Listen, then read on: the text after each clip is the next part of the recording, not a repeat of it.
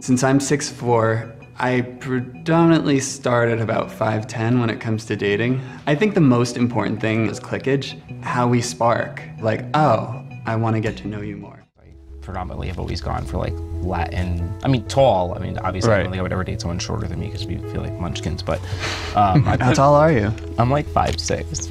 Oh, okay. I'm like pocket size. Yeah. if I had just met you, I mean, out at a bar or something, I'm, I maybe might not have taken the time to get to know you a little more. But having this this time changed my overall perception. Height became less important. First for everything.